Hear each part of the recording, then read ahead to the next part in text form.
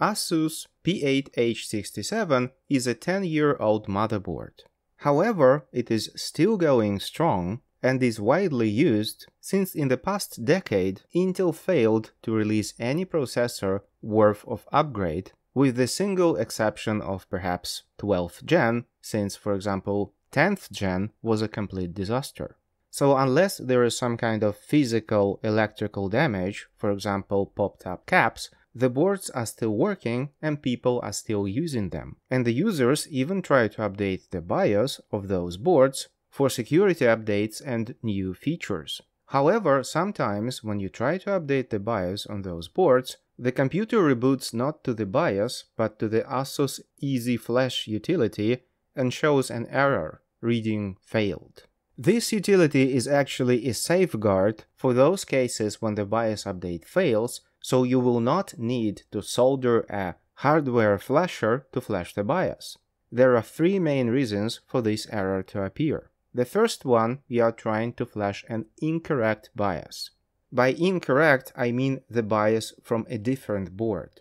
There are at least three different revisions of the same board. The first one is P8H67, the second one is P8H67V, and the third one is P8H67M. So you have to make sure that you are trying to flash correct BIOS.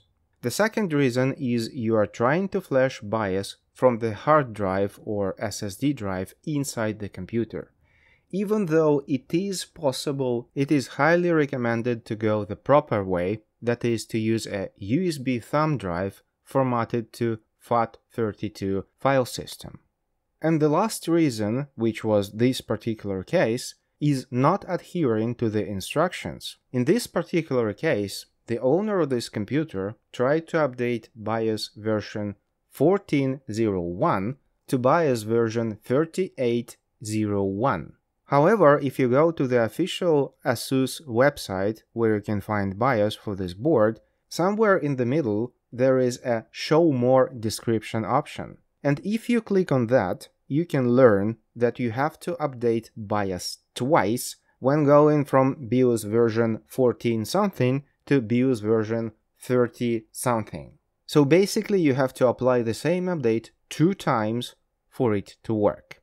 In this particular case, the USB thumb drive was not available, the PC itself was not booting, and there was no other computer to make the thumb drive. So in this particular case, a OTG USB adapter was used to connect the thumb drive to an Android smartphone to make the thumb drive. The problem is most apps that allow you to format thumb drives on Android require root to change the file system of the thumb drive. And the only app that does not require root access is ISO2USB. However, to make a thumb drive, you need two things.